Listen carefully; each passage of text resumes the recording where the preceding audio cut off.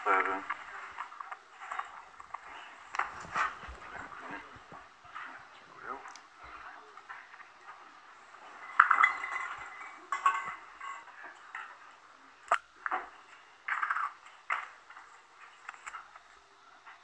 Komitet Wyborczy Polskie Stronnictwo Ludowe.